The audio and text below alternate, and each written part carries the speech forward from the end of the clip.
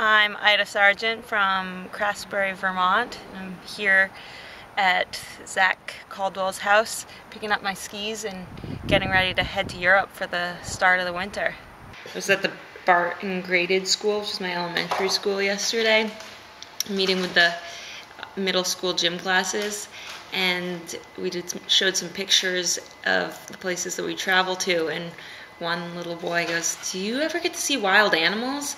Before I could answer, he just says, Have you ever seen a lion? Are you actually videoing? Oh, yeah. this one might not be as appropriate for the video. Susan showed a picture of her racing in Ruhpolding. And she goes, So this is Germany. Do any of you know where Germany is? And one little girl raises her hand goes, Is that where the Nazis live?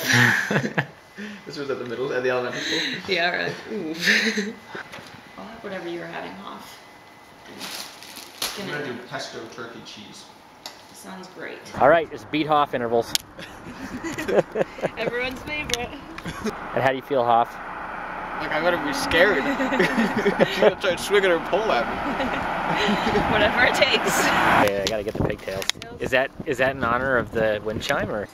So Ida, is that actually you? Yeah, my little braids, Yeah. which I don't have anymore, and big nose. Um, it's the only way my hair will go. Has it always been that way? No, or Chandra's mom gave me a haircut. All That's all that fits now. Good. Fair enough. Okay, I'll get in the car. Keek actually does it. Be like Keegan.